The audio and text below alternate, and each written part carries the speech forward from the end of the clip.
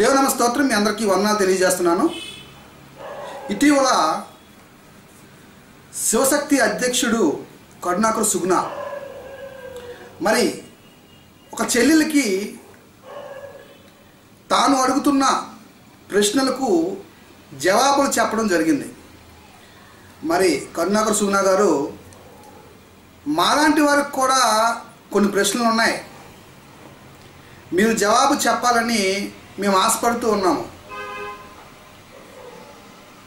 చెల్లెలకే కాకుండా నాలాంటి తమ్ముళ్ళకి అన్నయ్యలకి మీరేం చేయాలంటే జవాబులు చెప్పాలి అని నేను ఆశపడుతూ ఉన్నాను. మరి మీరు ఒక వీడియో చేస్తూ ఆ చెల్లెలు అడుగుతున్న ప్రశ్నలకు కొన్ని జవాబులు మీరు చెప్పారు. అందులో ప్రాముఖ్యంగా సృష్టికర్త ఎవరు? ఆయన లక్షణాలు ఏంటి బలులకు సంబంధించిన సందర్భాలు తీసుకొని మీరు చెప్పడం జరిగింది.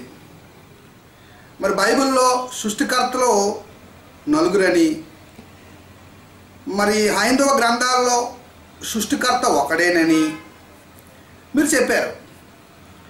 అలాగే బైబిల్ దేవుడు ఎలాంటి బలులు అడిగాడో అని కూడా మీరు జవాబుగా చెప్పారు. మరి సుగుణ గారు నా ప్రశ్నలకు కూడా మీరు జవాబు చెప్పాలని ఆశిస్తూ ఈ వీడియో మీకు అంకితం చేస్తున్నాను. మరి వీక్షిస్తున్న ప్రజలందరూ కూడా నేను చెప్పబోయే రెఫరెన్స్లు జాగ్రత్తగా అబ్జర్వ్ చేస్తారని నేను ఆశపడుతూ ఉన్నాను.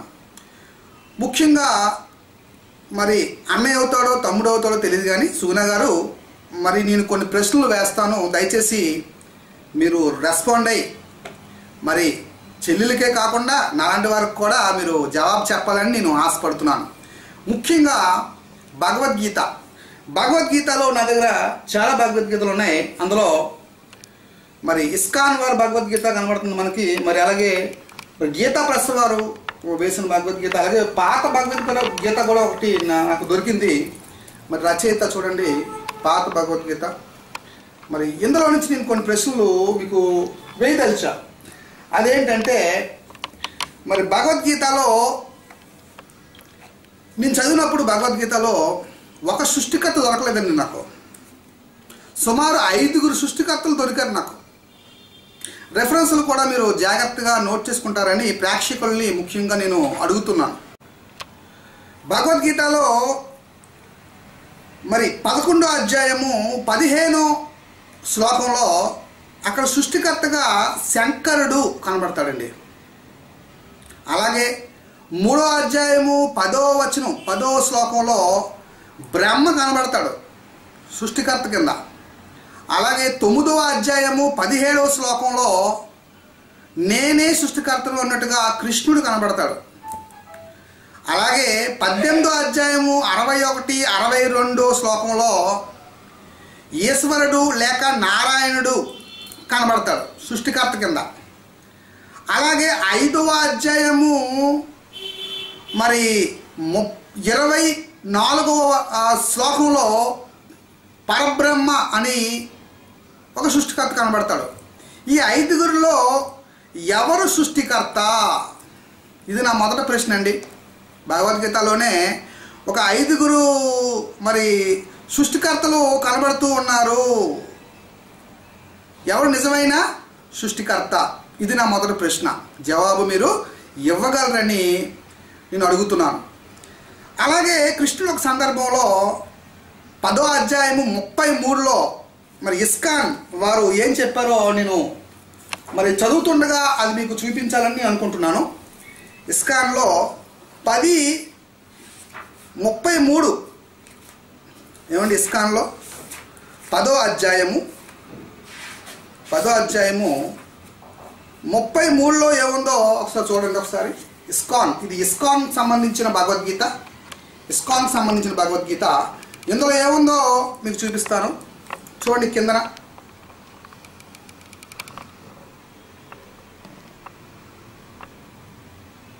చూశారు కదా? ఇది చదువుతుండగా చూద్దామండి. చదువుతుండగా చూద్దాం. అందులో ఏముందో చూద్దామండి. సృష్టికర్తలలో బ్రహ్మను అయి ఉన్నాను. సృష్టికర్తలలో అంటే చాలామంది సృష్టికర్తలు ఉన్నారు. అందులో బ్రహ్మను నేనే అన్నట్టుగా కృష్ణుడు చెప్పడం జరుగుతుంది. సృష్టికర్తలలో అంటే చాలామంది సృష్టికర్తలు ఉన్నారు అన్నట్టుగా భగవద్గీత తెలియజేస్తుంది. నేను అడిగిన ఈ ప్రశ్నకు మీరు మొట్టమొదటిగా జవాబు చెప్పాలని కోరుకుంటున్నాను. సిస్టర్కే కాకుండా మాకు కూడా జవాబులు చెప్పాలి మీరు. ఏమండి? మరి మనం రెండో ప్రశ్నకి వెళ్దామండి మనం రెండో ప్రశ్నకి వెళ్దాం. నాకు ఒక ప్రశ్న ఉంది. ఏంటంటే మరి మీరు అబ్రహాము బైబిల్లో ఉన్న అబ్రహాము కల్పిత కథ మోషే రాసిన కల్పిత కథ అంటూ మరి గట్టిగా లెచ్చరిచ్చారు బాగుంది. మరి ఇంతకీ భగవద్గీత జరిగిందంటారా? భగవద్గీత జరిగిందంటారా? మరి మీ హైందవ ధర్మంలో హైందవ ధర్మంలో కాలాలు లెక్క పెట్టినప్పుడు అండి సత్యయుగము క్రేతాయుగం అంటారండి దీన్ని. ఇది ఎన్ని సంవత్సరాలు అంటే పదిహేడు లక్షల ఇరవై ఎనిమిది వేల సంవత్సరాలు అంట సత్యయుగం అంటారు దీన్ని క్రేతాయుగం అని కూడా అంటారు. అలాగే త్రేతాయుగం ఈ యుగంలో రాముడు పుట్టాడు రాముడు నివసించే కాలం అంటారు ఈ- దీన్ని. పన్నెండు లక్షల తొంభై ఆరు వేల సంవత్సరాలంట. అలాగే ద్రోపర యుగము ద్రోపర యుగంలో ఎనిమిది లక్షల అరవై నాలుగు వేల సంవత్సరాలు ఇక్కడ కృష్ణుడు కాలంగా లెక్క లెక్కిస్తున్నారు. అలాగే కలియుగం కలియుగంలో నాలుగు లక్షల ముప్పై రెండు వేల సంవత్సరాలుగా టిల్ డేట్ కలియుగంగా భావిస్తున్నారు హైందవ ధర్మంలో. మరి ఇన్ని లక్షలు ఉన్నాయి కాలం మీ కాల ప్రకారంగా మీ హైందవ ధర్మం గ్రంథాల ప్రకారంగా ఇన్ని లక్షల సంవత్సరాలు జరిగినట్టుగా మరి మీరు రాసుకున్నారు బాగానే ఉంది. అయితే సైన్స్తో దీన్ని పోలిస్తే కనుక రాతి యుగం ఎప్పుడు జరిగింది? మరి లోహం ఎప్పుడు వచ్చింది? మరి మరి ఐరన్ ఏజ్ అంటారు మళ్ళీ. రాతి యుగ స్టోన్ ఏజ్ నుంచి ఐరన్ ఏజ్ ఎన్ని సంవత్సరాలు గడిచాయి? దీంతో పోలిస్తే కనుక మరి ఈ రామాయణం మరి భారతం కానివ్వండి జరగలేదు అన్నట్టుగా మరి నాకు ఒక డౌట్ అండి. ఏమండి? భగవద్గీత జరగలేదు అన్నట్టుగా నాకు ఒక డౌట్ ఆటోమేటిక్గా రేజ్ అవుతుంది. ఎందుకంటే లక్షల సంవత్సరాలు కనబడుతున్నాయి. కాలం. మీ గ్రంథాల్లో మీరు చెప్పినట్టుగా. దీన్ని మరి సైన్స్ కాలమానం ప్రకారంగా చూస్తే గనక రాతి యుగం సుమారు పది వేల సంవత్సరాలు మాత్రమే అని లెక్కలు కట్టవచ్చు ఈజీగా. ఏ చరిత్రకారుడిని అడిగినా చెప్తారు. ఏ మ్యూజియంలోకి వెళ్ళినా మనకు అర్థమవుతుంది. రాతి యుగం ఎప్పుడు మొదలైంది అని మనం చరిత్రకారులు కానీ మ్యూజియంలో కానీ వెళ్ళి చూస్తేనండి సుమారు పదివేల సంవత్సరాలు రాతి యుగం. దాని తర్వాత కొన్నాళ్ళకి వాళ్ళకి లోహం దొరికింది. కాపర్ అంటారు దాన్ని. కాపర్. కాపర్ దొరికిందండి. దాని తర్వాత కొన్ని సంవత్సరాలకి ఐరన్ దొరికింది. ఇనుము. ఇనుము వస్తువులు వచ్చాయి. ఇనుము వస్తువులు వచ్చి చాలా తక్కువ కాలమే సైన్స్ చెప్తుంది. మరి ఆనాడు రాముడు ఏ లోహాలు వాడాడు? అలాగే కృష్ణుడు యుద్ధాల్లో మరి భారత యుద్ధంలో మహాభారత యుద్ధంలో వాళ్ళు ఏ లోహాలు వాడారు?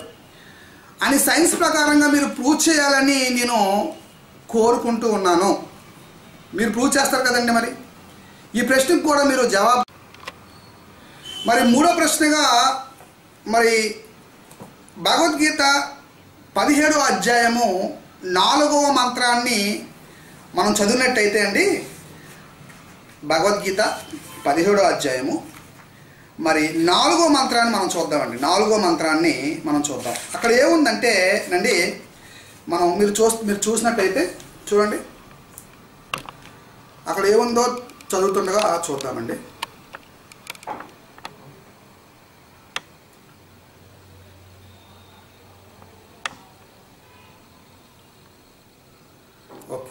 అక్కడ ఏముందంటేనండి ఇక్కడ మూడు తెగలు కనబడుతున్నాయండి చదువుతుండగా చూద్దాం మూడు తెగలు కనబడుతున్నాయి సత్వగుణమునందు నిలిచిన వారు దేవతలను. రజోగుణమునందు నిలిచిన వారు. యక్ష రాక్షసులను తమో గుణమునందు నిలిచిన వారు. భూత ప్రేతములను పూజింతురు మరి పదిహేడు నాలుగులో పదిహేడో అధ్యాయము నాలుగవ మరి మంత్రములో ఈ శ్లోకంలో ఏమనుందంటే మూడు గుణాలు ఉన్నాయి ప్రకృతి సంబంధమైన గుణాలు.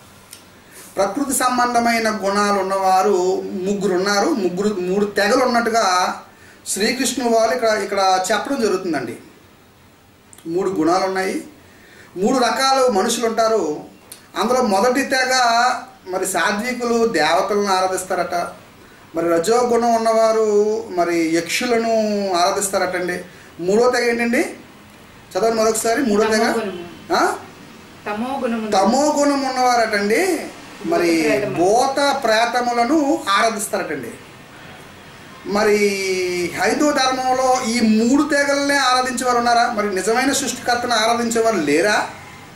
అంటే ప్రకృతి గుణాలు ఉన్నవారు ఈ మూడు తెగలలో ఉంటారు అని భగవద్గీత క్లియర్ చేస్తుంది మనకి.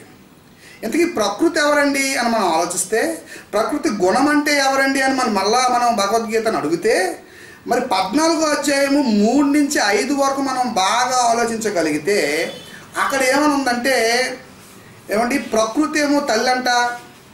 మరి దానికి కారణమైన వాడు నేనేనని చెప్తున్నాడు శ్రీకృష్ణుడు. అంటే తండ్రిని. ప్రకృతి ఏమో తల్లి ఆయనేమో తండ్రి అట. ఇకపోతే ఈ గుణాలన్నీ కూడా ప్రకృతి గుణాలన్నీ కూడా నేనే అని శ్రీకృష్ణు వారు మరి ఆ శ్లోకాలలో మనకి చెప్పడం జరుగుతుంది. అలాగే తొమ్మిదవ అధ్యాయము పద్దెనిమిదవ శ్లోకం మనం ఆలోచిస్తే సృష్టిని నేనే అంటున్నాడు అక్కడ. అక్కడ ఏమంటున్నాడంటే శ్రీకృష్ణుడు సృష్టిని నేనే అంటున్నాడు. అనగా ఈ మూడు తెగలు ఉన్నవారు గుణాలు ఎవరి వల్ల వచ్చాయి అని మనం ఆలోచించగలిగితే కృష్ణుడి వల్లే ఈ గుణాలు వచ్చాయి మనుషులకి. అలాగే మరి ఈ యక్షులు కానివ్వండి దేవతలు కానివ్వండి మరి ఈ దెయ్యాలు కానివ్వండి ఆ గుణగణాలన్నీ కూడా నేనే అంటున్నాడు శ్రీకృష్ణుడు. అంటే దేవుడు ఆయనే.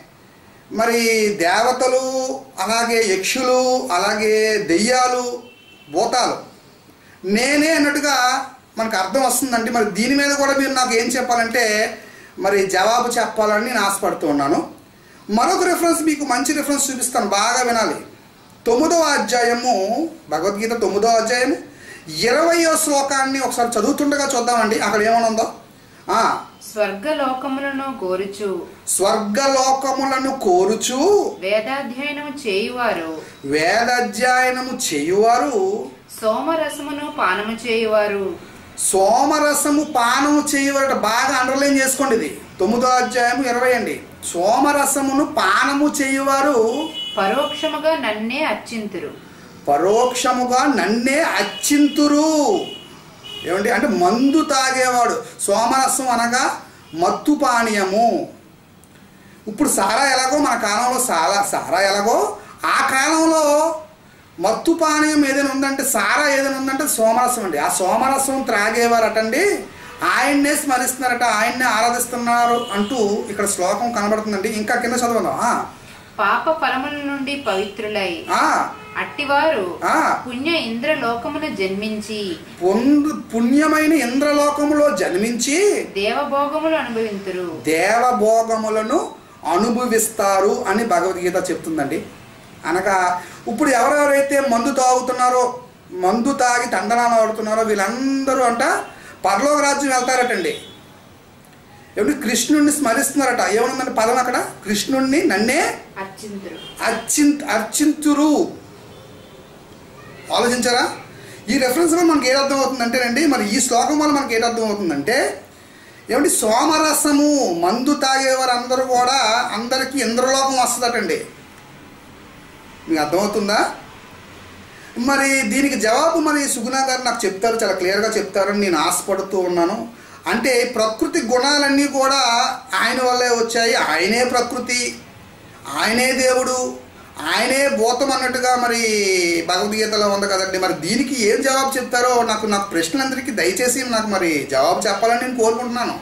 మరి చెల్లెలకే కాకుండా నాలాంటి అన్న అన్నలకి తమ్ముళ్ళకి కూడా మీరు ఏం చేయాలంటే జవాబు చెప్పాలని నేను ఆశపడుతున్నానండి మరి నాలుగవ ప్రశ్న ఇది తెలిసానండి? అదేంటంటే మరి వేదాలలో వేదాలలో మరి బలి అర్పణలు ఉన్నాయా? మరి సుగుణా గారు జవాబు చెబుతూ బైబిల్లో మరి బలి అర్పణలు ఉన్నాయని అబ్రహాము కొడుకుని దేవుడు అడిగాడని బైబిల్ దేవుడు అడిగాడని అలాగే యఫ్తా కూతురిని బలిచ్చాడంటూ మరి ఎన్నో చక్కగా వివరణగా మరి మా చెల్లెలకి చెప్పడం జరిగింది. మరి నేను కూడా ఒక ప్రశ్న మరి అన్నయ్యో తమ్ముడో నాకు తెలియదు కానీ ఆయనకి నేను వేయాలనుకున్నాను ఏంటంటే ఋగ్వేదము ఋగ్వేదము ఐదవ మండలము ఇరవై తొమ్మిదవ సూక్తము ఏడవ మంత్రం నుంచి మీరు చదివినట్టయితే ఏమండి? ఋగ్వేదము ఐదవ మండలము ఇరవై తొమ్మిదవ సూక్తము ఏడవ మంత్రం నుంచి మనం చూద్దాం. అగ్ని ఇంద్రునకు మిత్రుడు. మిత్రుడగు ఇంద్రుని ఆ, కార్యమునుగాను ఆ. అగ్ని. మూడు వందల మహిషములను అతి త్వరగా వండినాడు. చూసారండి? బలి అర్పణ చేశారు ఇంద్రుడికి అన్నట్టుగా ఋగ్వేదం చెప్తుందండి. ఆ. ఇంద్రుడు ఇంద్రుడు పరమైశ్వర్య యుక్తుడు ఆ. వృతిని వధించుటకు గాను ఆ. మను సంబంధమగు మూడు పాత్రలలో ఉన్న సోమమును ఒకేసారి త్రాగినాడు. మూడు పాత్రల్లో ఉన్న సారా అంట ఒక్కసారికే తాగేశాడటండి త్రాగేశాడటండి ఈయన. ఇంద్ర ఇంద్ర. నీవు మూడు వందల మహిషముల మాంసమును భక్షించినావు. మాంసమును భక్షించాడటండి. వేదాల్లో ఉన్న సత్యం అండి ఇది. ఋగ్వేదము ఐదవ మండలము ఇరవై తొమ్మిదవ సూక్తము ఏడు నుంచి చెప్తున్నానండి నేను. ఏమండి అక్కడ బలుల అర్పణలు ఉన్నాయి. వేదాల్లో కూడా బలి అర్పణ ఉన్నది అంటూ ఇక రెఫరెన్స్ కనబడుతుందండి. ఆ, మూడు పాత్రలలో ఉన్న సోమరసము త్రాగినావు. అప్పుడు నీవు ఆ. వృతిని వధించినావు. అంతటా దాసులు స్వామిని ఆహ్వానించినట్లు ఆ. దేవతలందరూ. యుద్ధమునకు గాను సోమపాన పూర్ణుడగు. ఇంద్రుని ఆహ్వానించినారు. ఇంద్రుణ్ణి ఆహ్వానించినారు. మీకు అర్థమవుతుందండి? అంటే వేదాలు ప్ర వేదాలలో ఏముంది అని మనం ఆలోచిస్తే అక్కడ బలి అర్పణ ఉన్నది. అంటే బలి బలి అర్పించడం ఉన్నది. ఎందుకండి? మరి వంద సంవత్సరాలు వెనక్కి వెళ్ళిపోతే భారతదేశంలో హూగ్లీ నదికి చిన్నపిల్లల్ని బలి ఇచ్చేవారండి. భారతీయ సాంప్రదాయం అంటది. మీకు అర్థమవుతుందా? బలి అర్పణలు లేవంటున్నారు మీరు. ఏమండి? ముందు మీ ఇల్లును శుభ్రపరచుకోండి. దాని తర్వాత బైబిల్ కోసం మాట్లాడతారు కానీ. ఏమండి? ఇకపోతే ఇదే అంశాన్ని బా మరి భగవద్గీత మీద మనం ఆలోచన చేస్తానంటే ఆలోచన చేస్తే ఏమండి? మరి నాలుగవ అధ్యాయము ముప్పై మూడవ సూక్తంలో మరి ఈ పుస్తకంలో అంటే ఈ భగవద్గీతలో నేను చూపించే భగవద్గీతలో చూడండి ఇది చాలా పాత భగవద్గీత చాలా పాత భగవద్గీత. మరి నాలుగు ముప్పై మూడులో ఏముందంటేనండి ఈయన మరి కృష్ణుడు ఏమంటాడంటే మరి బలి అర్పణ వద్దు అంటున్నాడు.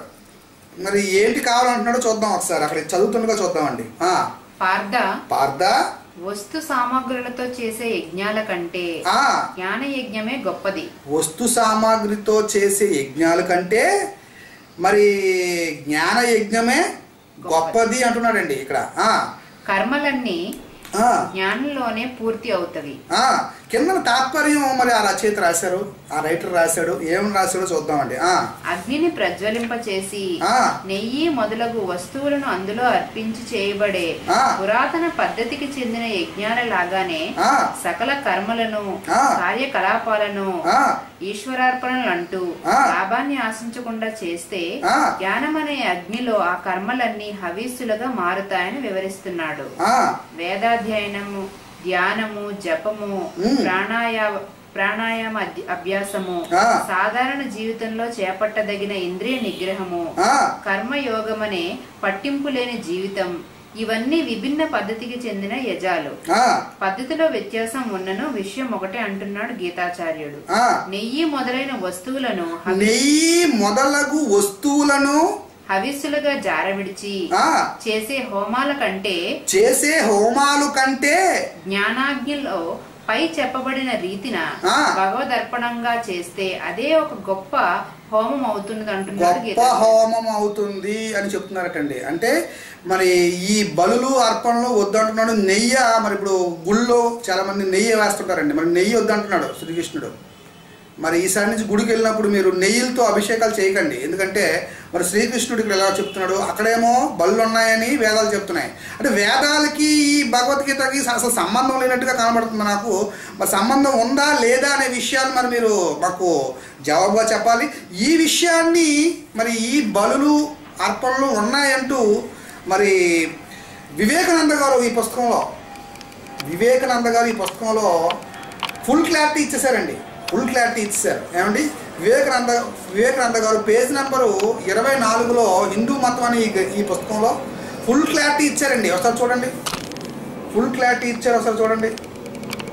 ఆయన ఏమని చెప్పారంటేనండి ఈ పుస్తకంలో మరి వేదాలలో యజ్ఞాలు ఉన్నాయి బలులు ఉన్నాయి సోమరసం ఉన్నది అని కూడా చెప్పారండి. ఈ పుస్తకంలో సోమరసం ఉన్నది బాగా శుద్ధి చేయండి. బాగా చదవాలి. వివేకానంద గారు దీన్ని కన్ఫర్మేషన్ ఇచ్చారండి. భగవద్గీత ఏమో వద్దని చెప్తుంది. మరి వేదాలు కావాలంటుంది. వివేకానంద కూడా కావాలి అంటున్నాడు. సోమరసం మరి యజ్ఞాలు చదువుతున్నావు చూద్దామండి. మరి మరి వివేకానంద గారు ఏమంటున్నారో చూద్దాం చదువుతుండగా. మానవాళికి వర్షాలు పడకుండా అడ్డగించిన సర్పాన్ని పిడుగుల అధిదేవత అయిన ఇంద్రుడు. సంహరించిన కథ ఉంది. ఇంద్రుడు ఇంద్రుడు వజ్రాయుధాన్ని దాని మీద ప్రయోగిస్తాడు అది ఎగురుతూ వెళ్ళి అది ఎగురుతూ వెళ్ళి సర్పాన్ని చంపుతుంది సర్పాన్ని చంపుతుంది. వర్షం కురుస్తుంది. అప్పుడు వర్షం కురుస్తుంది. జనులు సంతోష పరవశులై బలులిచ్చి బలులిచ్చి నైవేద్యాలతో ఇంద్రునికి పూజలు చేస్తారు. నైవేద్యాలతో ఇంద్రునికి పూజలు చేస్తారు. ఆ. యజ్ఞకుండం చేసి యజ్ఞకుండం చేసి జంతువులను జంతువులను కొన్నింటిని చంపి కొన్నిటిని చంపి వాటి మాంసాన్ని వ్రేల్చి ఆ, వాటి మాంసాన్ని వేల్చి దాన్ని ఇంద్రునికి నైవేద్యం పెడతారు. దాన్ని ఇంద్రుడికి నైవేద్యం పెడతారటండి. ఆ. ప్రశస్తమైన సోమలత అనేది ఉంది. ప్రశస్తమైన సోమలత అనేది ఒకటి ఉందంటండి. ఆ. అదేమిటో ఇప్పుడు ఎవరికీ తెలియదు. ఇప్పుడు ఎవరికి తెలియదట.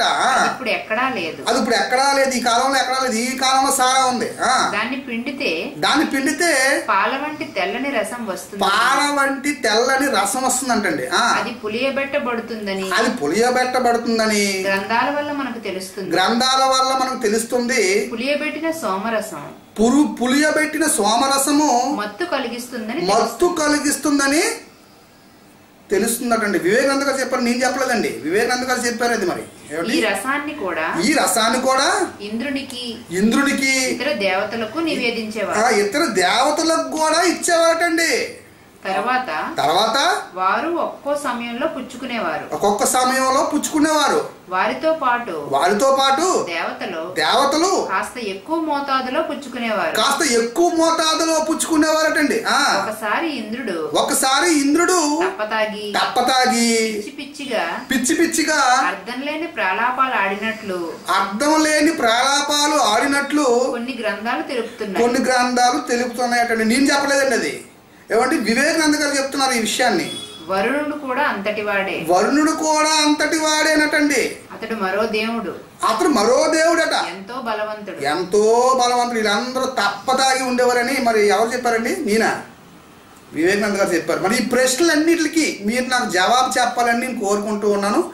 మరో ఎపిసోడ్లో మళ్ళీ కలు కలుసుకుందాం. ఇంకా చాలా ప్రశ్నలు ఉన్నాయి నాకు. మరి మీరు అన్ని ప్రశ్నలకి నాకు ఏం చేయాలంటే జవాబు చెప్పాలి మరి మీరు. ఏమండి? దేవుని నామన స్తోత్రం.